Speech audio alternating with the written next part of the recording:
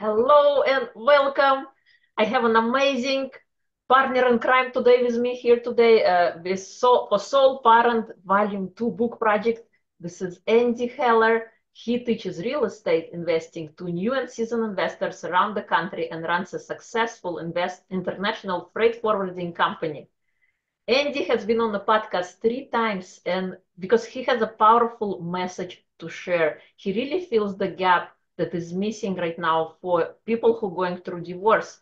His book, Take the High Road Divorce, Divorce for Compassion for Yourself and Your Family, is has an important testament. It kind of highlights the voices of everybody across the industry and allows the person who is going through divorce to to have this kind of role book. And I, I am so excited that he decided to join us in the Soul Parent Book Project. So welcome, Andy. Irina, thank you for having me, and it's a pleasure. And anytime you call me with a request, my answer will be yes. I'll make it easy for you. Thank you, thank you. So please share with us, why did you say yes to become part of the book project?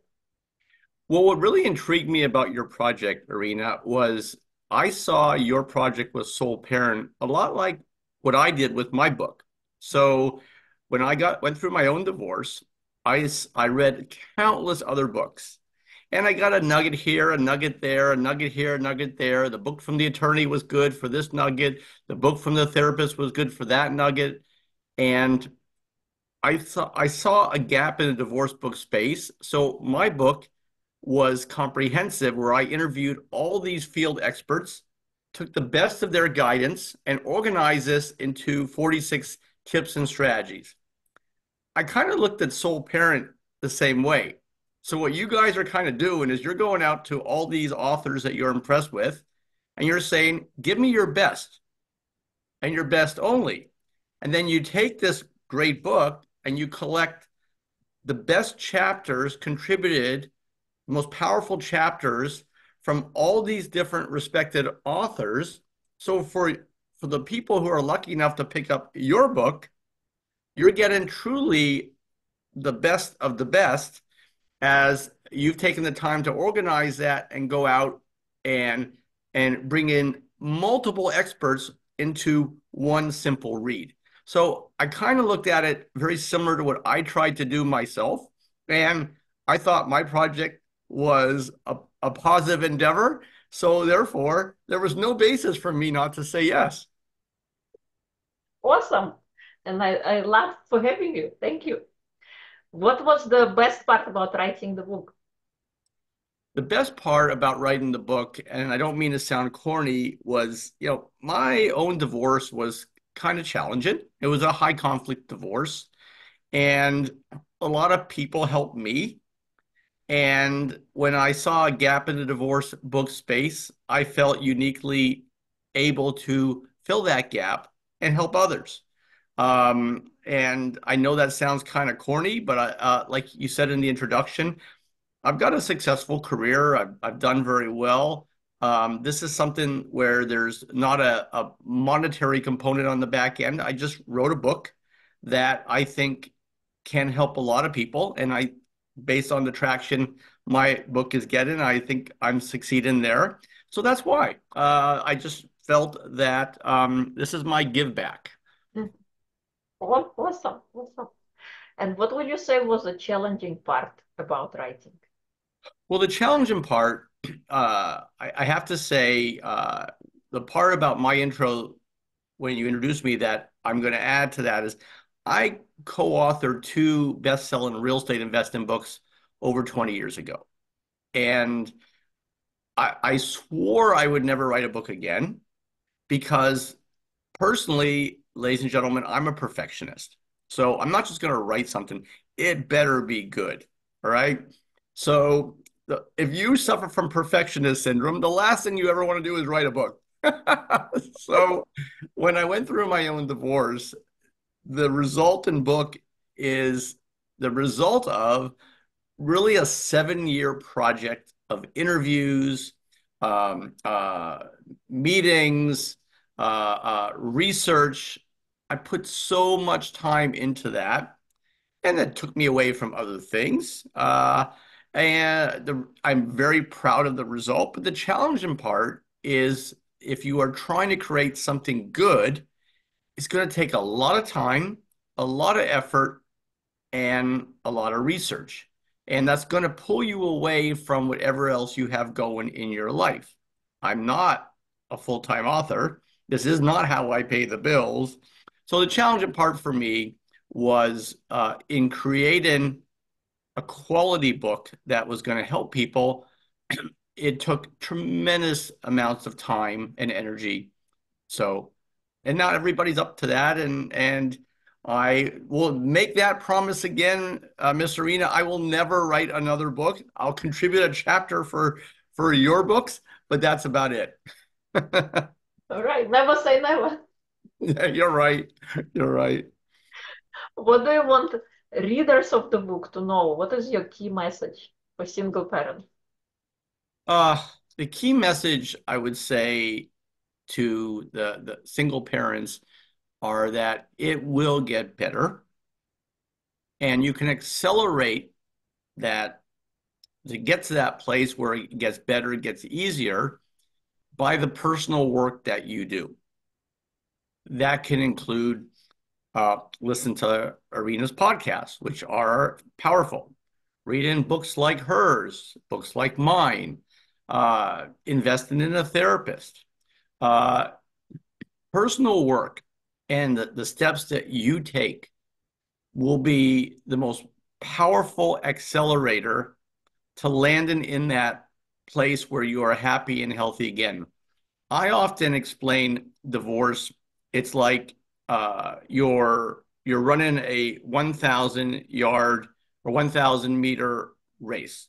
All right, the faster you run, the faster you get to that end of that race. The end, the finish line represents where you are landing and restarting your life, and you're in a place where you're healthy, can bring in a new partner, can parent uh, with uh, with all your energies and, and parent confidently on your own. And it's amazing how different the speed of these racers can be. And you can control your speed on some level based on the personal work that you do. We can't change the drama that you have in your life. Some people have, there are abuse issues involved. Sometimes there are third party issues involved. Um, so that all of us have their own dynamics. And, you know, Irina and I can't change that. But what I can impress upon all of you is no matter what is going on in your life, what you can control is the effort that you put in to your own mental health. Um, and again, just the fact that you're listening to this interview means that you're probably doing something that a lot of others are not. But I would also say don't stop there. Continue to listen to Irina's podcast, get her book. I would get my book and do other personal work uh, that is available to you to go down that racetrack as fast as possible. The, the, the, I'm going to add one final point to that. Many people who are in an unhappy marriage feel that the divorce itself and the stamp begins the process of getting to a better place. I actually don't believe that. I think that divorce stamp is part of the process. Um, and I've met people who I interviewed for my own book that they they said to me it was two, three, five, or more years after the divorce before they felt like they had their feet on the ground uh, as a uh, as a single parent and being able to move out in in society, date again, et cetera, et cetera. My point here is it does not have to be that long for you. It can be shorter and it is in, intrinsically tied to the personal work that you are willing to do. I think you're so right on that point because they make it so easy to get married. People falsely assume that it is just as easy to get divorced. I know. I know. It's it's um but I, you know, it, it's funny. One thing uh, Irina and I both have in common is we are both uh, we got to know the, each other in our three podcasts. We're both glass half full individuals. Um, but I can also tell you in my own experience putting my book together, I interviewed dozens of others, divorcees, who are not wired like me, who are not always glass half full, but the resounding messages from them were were the same. The personal work that was done did help accelerate getting them to a place where they could move on, date again, and and also parent confidently. Just because you're parenting without your part, your former partner in your own space, doesn't mean you are an effective parent. Um, and this, I can speak from my own personal experience, Irina. Um, when I split, that first year parenting on my own was so difficult. My ex was a super mom. She's a great mom, right? And um, I, I was a good dad, but never on my own. And I didn't have that confidence. Um, I didn't have the benefit of repetition, of dealing with colds on my own multiple time, dealing with uh, a child who is frustrated with homework multiple time, a child who's been had online social media bullying multiple times. But after a year or so, I got that confidence and I, I felt like I, I, there was little I could not handle. Yeah, you're so right. It's all about repetition. Yep, yep. Getting better with each successive turn. And we are, nobody is perfect. We all have our flaws, but it's owning those flaws and doing the thing that you know you are capable of doing, the more you do, the better you become.